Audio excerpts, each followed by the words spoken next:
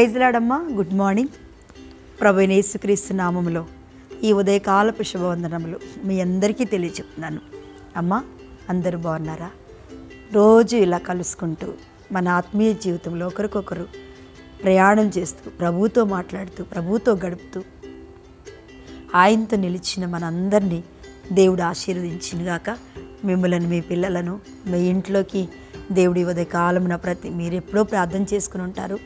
మీ ప్రార్థన ద్వారానే ఉదయకాలమున దేవుని సన్నిధి మీరు అనుభవించి ఉంటారు.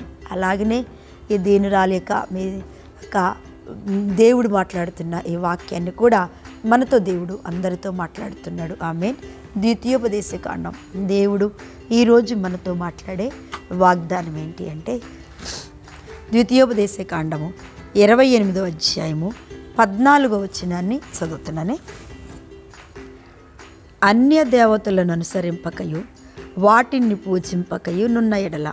నీవు ననుసరించు ననుసరించి నడుచుకొనవలనని నేడు నేను నీకు ఆజ్ఞాపించుచున్నాను. నీ దేవుడైన ఎక్కువ ఆజ్ఞను విని వాటిని అనుసరించి గైకొనిన ఎడల. యహోవా నిన్ను తలగా నియమించును కానీ తోకగా నియమింపడు. నీవు పైవాడవుగా ఉందు కానీ క్రింద వాడవుగా ఉందు అందరు చదవండి. అందరు నాతో కలిసి ఈ మాట చదవండి. యహోవా నిన్ను తలగా నియమించింది కానీ అందరు చెప్పండి రా యహోవా నన్ను తలగా నియమించింది కానీ తోకగా నియమించుడు. నేను పైవాడినిగా ఉందును కానీ క్రిందవాడినిగా ఉండను. దేవుని బిడ్డలారా దేవుడు ఎప్పుడైనా అసలు ఈరోజు మనతో దేవుడు మాట్లాడుతున్న చక్కటి వాగ్దానం ఏంటంటే మనం అనుకుంటాం మనం కింద ఉన్నాము పైకి రాలేనిక నేను ఇక పైకి వచ్చే స్థితిగతులు నా నుంచి దాటిపోయినాయి. నా పరిస్థితులు దాటిపోయినాయి. ఇక నేను పైకి వస్తాను అనుకున్నది మాట ఇక నేను నమ్మలేను. అనుకుంటున్నావా? అనుకుంటూనే ఉండొచ్చు.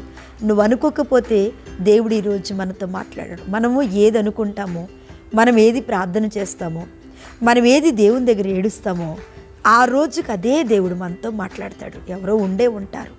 అందుకని దేవుడు అంటున్నాడు ఎప్పటికైనా దేవుడు పాత రోజులే ఉండవు పాత కష్టాలే ఉండవు. ఎప్పటికీ నువ్వు కూరుకుపోయేటట్టే ఉండవు కానీ దేవుడు చక్కగా చెప్తున్నాడు. దేవుని మాటను అనుసరిస్తూ దేవుని ఆజ్ఞలకు లోబడుతూ దేవుని చిత్తాన్ని జరిగిస్తున్న మన జీవితాలలో ప్రభు ఎప్పుడైనా ఒక రోజునైనా తగ్గించగలడు ఒక రోజునైనా హెచ్చించగలడు. మనలను తలగా ఉంచగలడు తోకగా చేయగలడు. యోబుని చూడండి.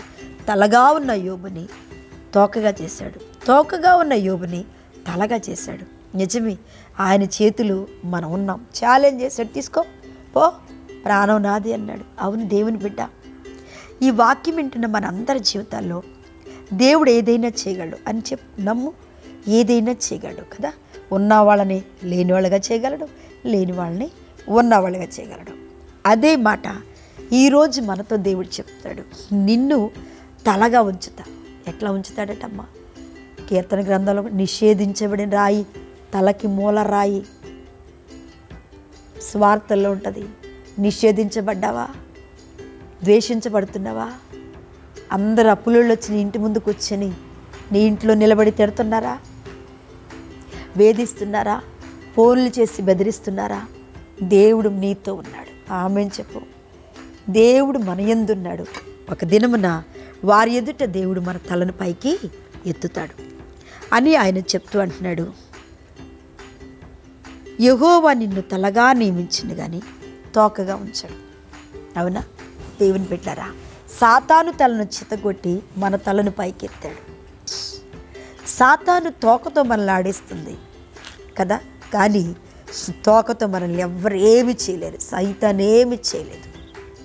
ఆమెను చెప్పండి. దుష్టుడైన కన్ను సాతాను యొక్క కన్ను మన మీద ఉన్న లోకం కన్ను మన మీద ఉన్న దేవుడి కన్ను మన మీద ఉంది. అందుకే అంటున్నాడు నేను నేను చెప్పాను ఏ దేవతలు కానీ పూజింపొద్దు. అంటే దేన్ని అతిగా ప్రేమించొద్దు. దీనికి అర్థం ఏంటంటే దేనిని అతిగా ప్రేమించొద్దు. రక్త సంబంధాలను అతిగా ప్రేమించాలి. బిడ్డలను కూడా అతిగా ప్రేమించొద్దు. భర్త భార్య. అధికమైన ప్రేమ మనకు దేని మీద ఉండకూడదు? కేవలం దేవుడి మీదే అధికమైన ప్రేమ చూపించాలి. ఆ తర్వాతే మనం వాటన్నిటిని ఆజ్ఞలు అనుసరించాలి. ఏ ఆజ్ఞలు ఇచ్చాడు దేవుడు? మనకు తెలుసు ఏ ఆజ్ఞలు ఇచ్చాడు? తల్లిదండ్రులను ప్రేమించాలి. అబద్ధం ఆడద్దు. మోసం చేయొద్దు.